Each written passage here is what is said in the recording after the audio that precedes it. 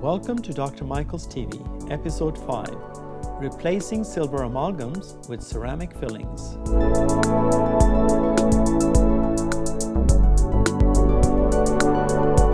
Often, patients come to see their dentist to replace old fillings such as silver amalgams. These are fillings that have probably been there in the patient's mouth for many years, causing the teeth to look a little bit more dark.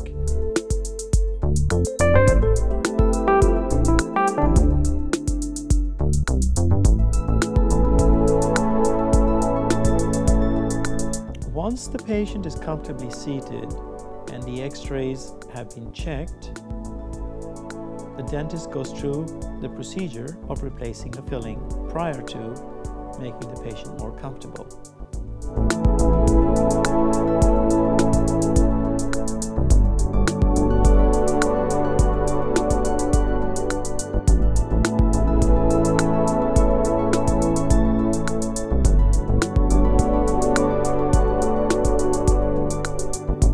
The procedure starts with applying a gel on the outside of the tooth to numb the soft tissue. A few drops of dental anesthesia is applied so the tooth is numbed. This usually takes about one to two minutes.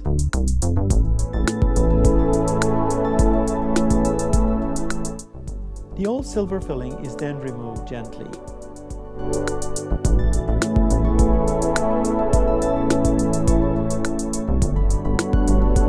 Once the entire filling has been removed, the margins have been smoothened, the tooth is being prepared for an impression.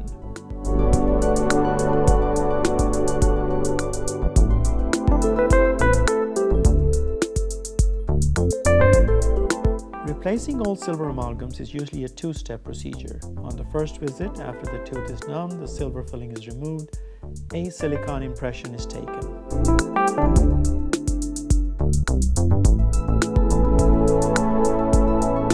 This final impression is sent to the dental laboratory, together with an index or a bite, which is taken just after the final impression is taken.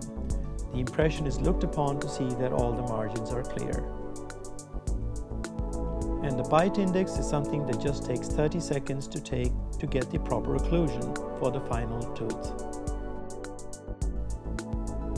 A temporary filling is placed, followed by a check of the color of the final ceramic filling.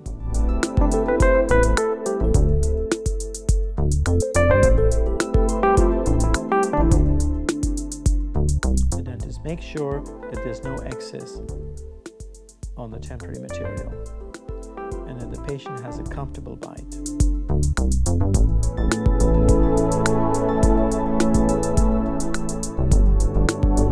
Color check is done and noted on a pad to send to the dental laboratory.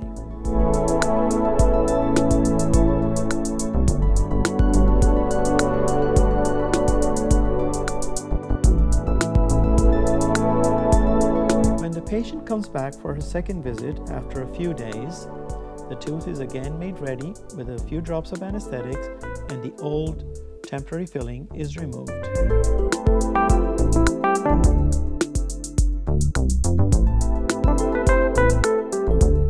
Once the temporary filling is removed and the tooth has been washed, the ceramic filling is tried in.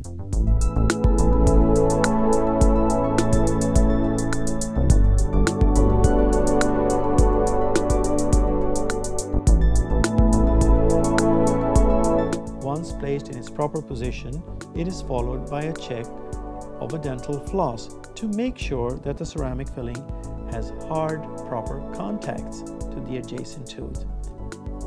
When the trial is satisfactory, the tooth is polished with a polishing paste to make sure that there's no material left.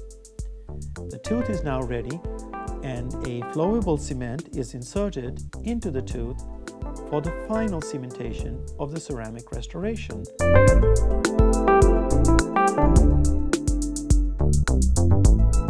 It's inserted into position with a special instrument and all the excess of the flowable cement is wiped off to make sure that there's no excess lying on the adjacent teeth.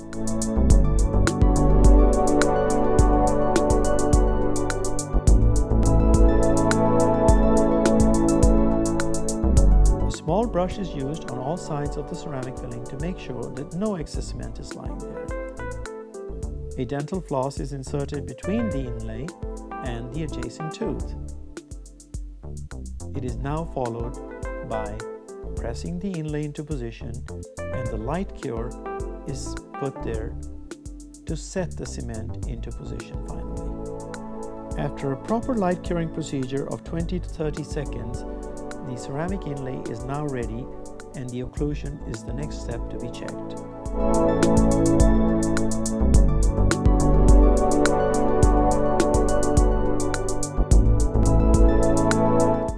Floss is removed. This will of course check that there is no excess flowable cement there and it is now followed by a check of occlusion. This is to make sure that the patient has a very comfortable bind. The occlusion foil shows if there is any spot where the tooth is high.